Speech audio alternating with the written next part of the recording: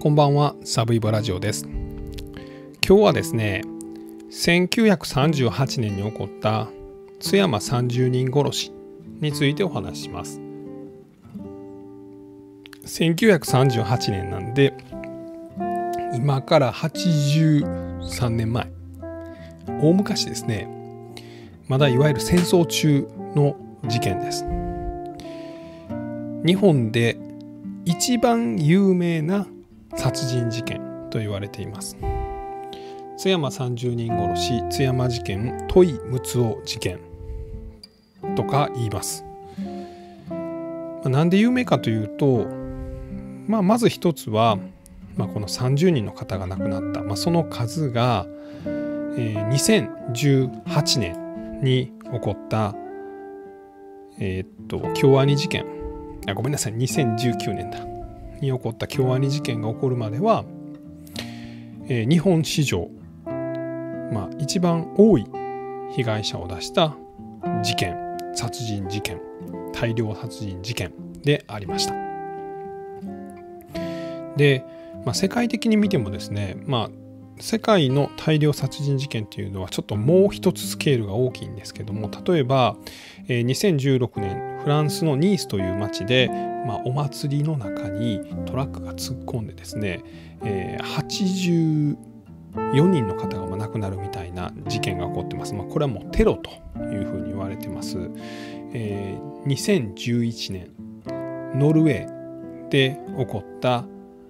テロ事件。これはまあ1人の男がですね77人の方を殺しています。例えば爆弾とかですね。あとまあちょっとこの離れ小島みたいなところでまあこうあのなんかしてたですね。若者たちに自分は警官であると、まあ、こんな事件があるから危ないから集まりなさいって言って集まらしてそこに銃をま撃ちまくってですね、まあ、合計77人殺したとか。アメリカでも例えばビルの上からですね まあ群衆に向かって撃ちまくったりしてたくさんの方が亡くなるとかそういう事件はあるんですがこの津山30人殺しの、まあ、一番特徴的なのは明確なターゲットを、まあ、明確に殺意を持ってで、えー、一人の男が、まあ、殺したという事件では、まあ、この数ですね。も含めてですね世界でも類を見ない、まあ、事件殺人事件であるというふうに思います。まあ、言い方が悪いんですけれどもこの犯人は戸井睦夫という当時21歳の男なんですが、まあ、ある意味こいつの思い通りに計画通りにたくさんの人が殺されてしまったという事件ですね。まあ、それだけこいつが賢かったのかそれだけ残虐だったのかまあある意味こいつにとっては運が良かったのかわからないんですが、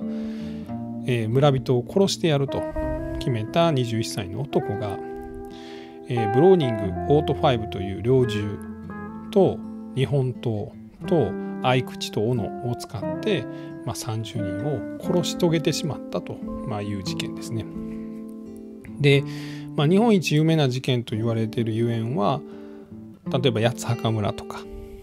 あと僕これあんまり知らないんですけど牛光の村とか、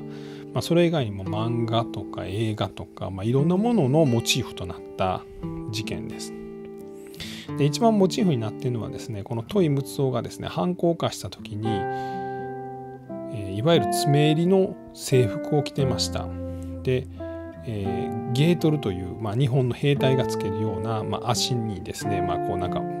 布を巻きつけたようなものを巻いて直旅を履いてですね鉢巻きをしてですねその鉢巻きに、えー、両方にですねこの懐中電灯を結びつけてですねで、えー、軍刀を腰に刺してで銃を持ってでヒャッハーと言って襲いかかってくるというまああの絵面ですね。まあその後ですね、まあ、ちょっとこうホラー要素のあるものにはこういうのが使われたりとかもしました。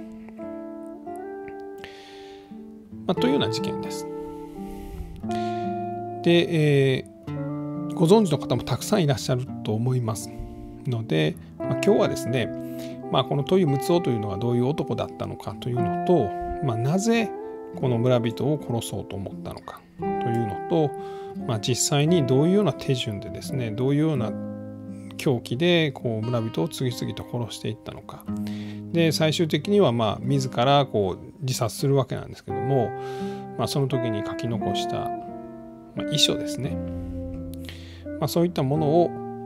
まあ、紹介していこうと思います。えー、まずはこのトイムツオどういう男だったのかということです。事件の舞台となったのは岡山県の今は津山市というところですね。鴨町という、えー、岡山県の北側、えー、鳥取との県境にある、まあ、山あいの村ですね。もう今でも超田舎って感じのところです。で、えー、1938年になんで、えー、太平洋戦争の最中ですね。もともとトイムツオの家系はお金持ちでした。この山の名手、まあ、土地もたくさん持っていました。しかし結核がこのお父さんお母さんおじいさんを襲います。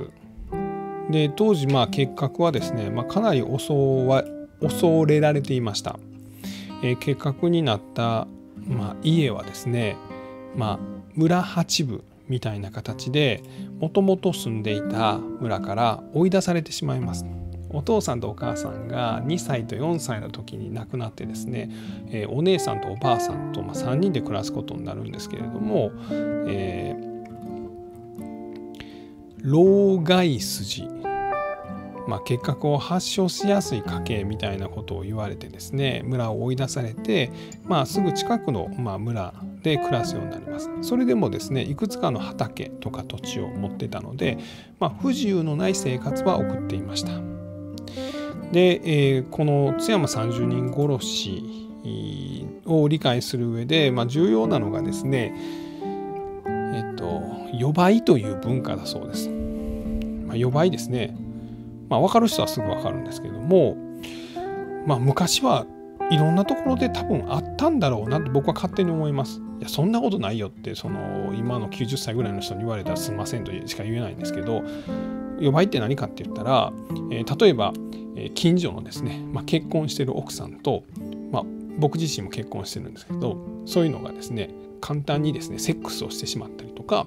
まあえー、独身の、まあ、若いこれトイムツオ21歳ですけどが、えー、40ぐらいのですね奥さんとまあ、お金のやり取りを通じて、セックスをしたりとかですね、セックスに対して、まあ、今よりもですねかなり、え、人々が、ま、寛容、まあ、フリーセックスに近かったという文化があったということです。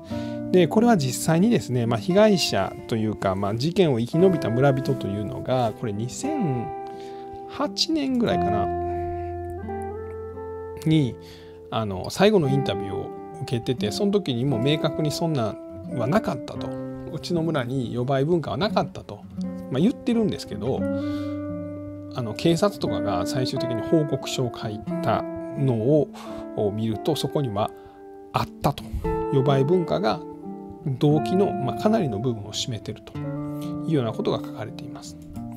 まあ、そのじゃあ予売がこのトイ・ムツオにとってですねどういうもんやったかということなんですが、え、まずトイムツオはま小学校とかですね今今で言ったら中学校とか、まあ、その尋常小学校とか尋常尋常高等小学校とかいいんですけども成績は良かったんです。10段階中8。で、えー、真面目でですねまあ先生の言うこともよう聞いて、まあ、約束もちゃんと守るような、生徒だったと先生は後に語っています。しかし、えー、この事件が起こる1年前にですね徴兵検査を受けるんですけどもこれで結核が理由で徴兵検査に落ちちゃってるんです。まあ、兵種合格という、まあ、合格ではあるんですけど実質上の不合格。簡単に言ったら、えー、兵隊としてはもう取れませんと、まあ、ずっと待機しておいてください。もしこの村とかこの岡山が戦場になった時一緒に戦いましょうみたいな、まあ、簡単に言ったら5万目みたいな。形になります。でこのことで、えー、それまでですねこのトイムツオと、まあ、セックスの関係をしていた村人の女性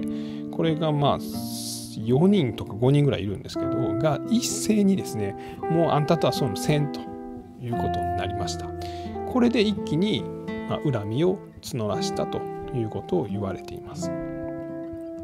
で、えー、トイムツオはですねそこから猟銃免許を取ってですね、まあ、散弾銃を買ったりとかブローニングオート5というこの猟銃ですね、えー、これを買ってでさらに日本刀とか短刀とか合口とか言われるナイフを、まあ、集めるようになります、まあ、しかし一旦はですねあの警察に没収されました、まあ、でも自分家の田んぼとか家を、まあ、借金の肩にしてですね、まあ、お金をゲットしてまた猟銃とか日本刀とかを揃えます。で事件が起こったのが1938年の5月21日なんですが、まあ、なぜこの日に事件が起こったのかというと実はこのトイ・ムツオはですね、まあ、ずっと好きだった、まあ、女性がいました。でそれがですねえー、っと寺井由里子さんやったかな？という女性でなんか寺本さんなのか寺井さんなのかっていうのはちょっと僕にははっきり分からないんですけどまあ同級生でで、えー、ずっと、まあ、好きだったと。で、えー、トイムツオが言うには実は、まあ、予売で関係もあったんだということを言ってます。しかしこの女性の方はいや私はあの襲われそうになったけどその跳ねのけてだからや今やってないというかセックスはしてないというふうに言っています。がまあ好き合った女性が、えー、他の村に嫁いだんですけどこの5月20日に帰ってきてました。でこいつを殺そうと。で村人で俺に冷たく当たったやつも一緒に殺してしまおうということで、えー、犯行を決意します。で、えブローニングの三段銃ブローニングオート5っていうのは5連発なんですけどこれをトイムツは改造して9連発にしてました。でさらに日本刀と斧を用意します。で夕方の5時ぐらいになったらですねまずは電柱に登って電線を切って村を停電させます。でこの頃は停電よくあったので村人もああ停電かと。またちょっと修理しないとねみたいな感じだったんですね。で皆さんが寝静まった牛三つ時。5月21日の午前1時40分ぐらいかな。トイムツオは学生服。爪襟でゲートルを足に巻いて直旅を履いて鉢巻きを締めて鉢巻きに懐中電灯を2本刺してで首から、まあ、大きな懐中電灯をぶら下げてですね。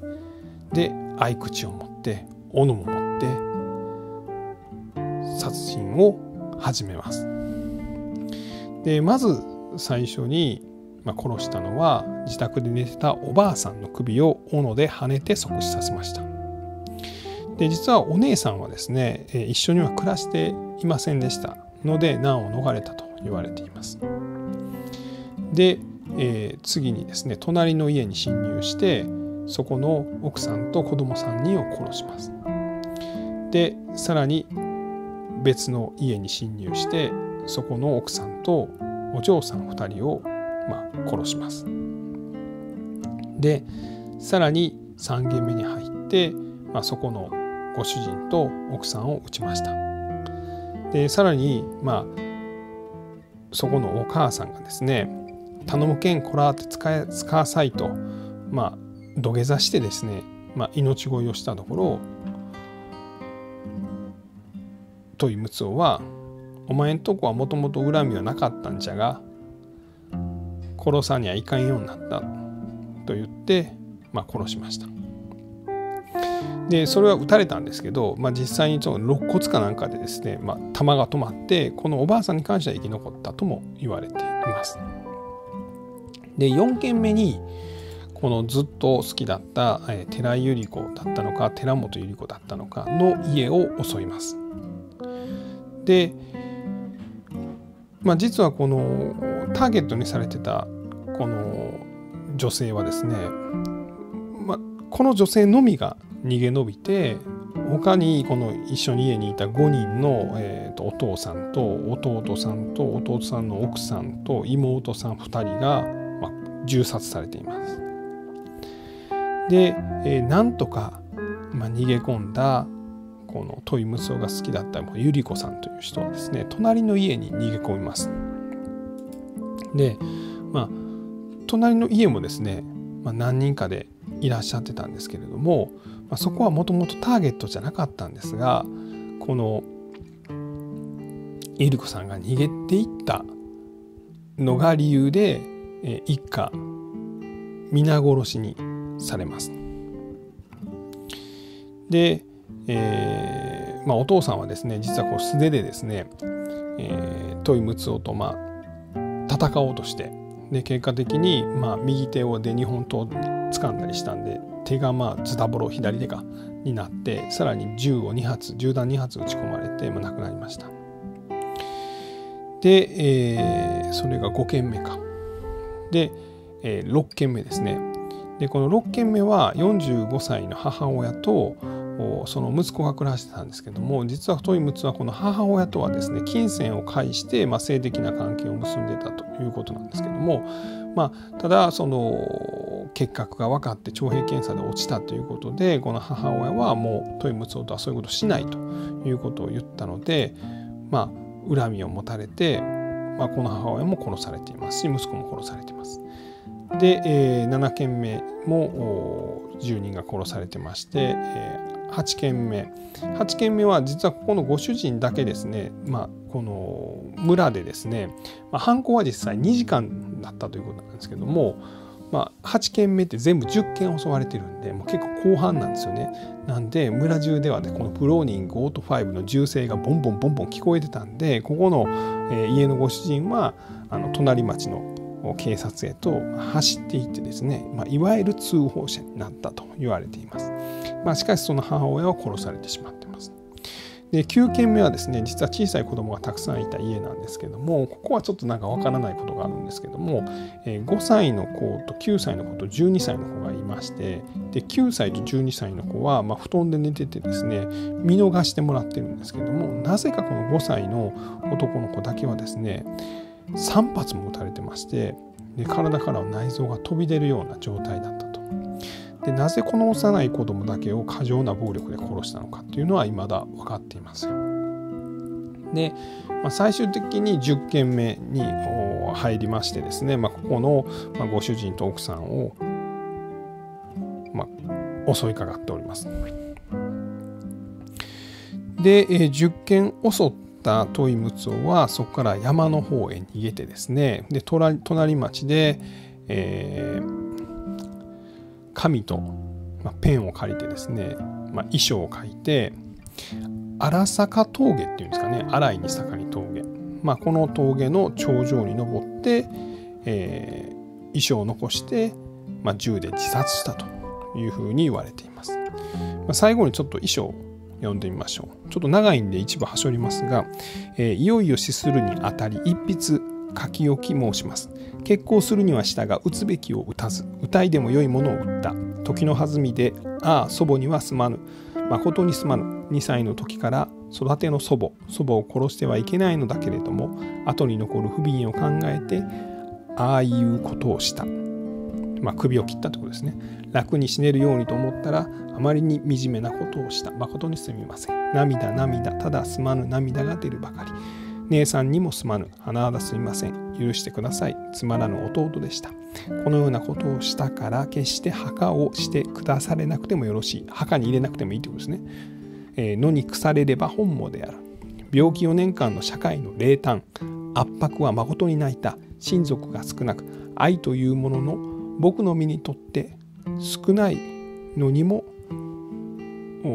泣いた。社会も少し身寄りのないもの。結核患者に同情すべきだ。実際に弱いの弱いのには懲りた。今度は強い人に生まれてこよう。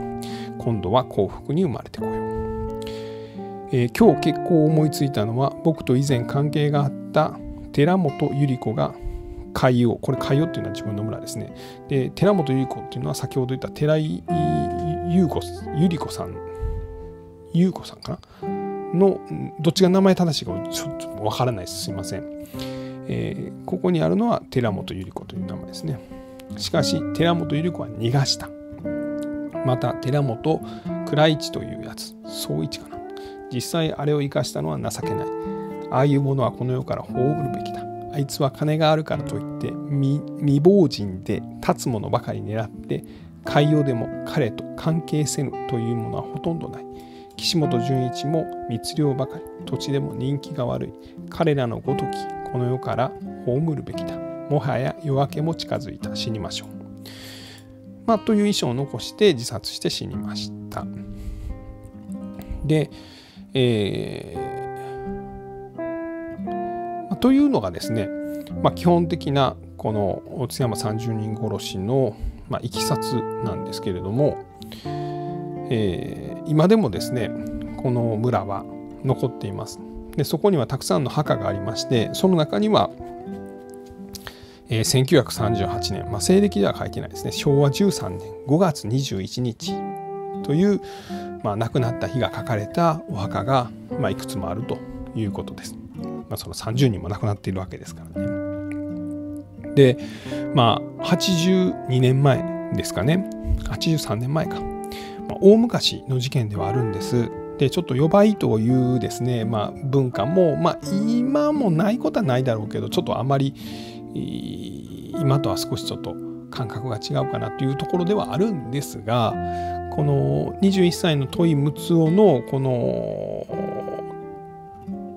衣装ですね。みたいなものを見た時にですね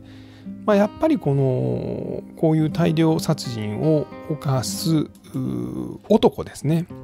の考え方というのは、まあ、一種他の事件とも共通するところがあるんだろうなと。まあ、例えばこの秋葉原通り魔事件ですね。とか、えー、付属池田小学校事件とかですね、まあ、基本的には自殺しようと思っている社会に対して、えー、絶望して自殺しようと。で不満を募らして。で死ぬんだったら他のやつも巻き添えじゃと、えー、殺したいやつを殺して社会に復讐してから死のうと、まあ、いう考え方なのだなというのが、えー、強く感じました。えー、かなり長くなってしまってますね。はい、すみません。えー、今日はですね、1938年昭和13年に起こった津山30人殺しについてお話ししました、えー、最後まで聞いていただきまして本当にありがとうございました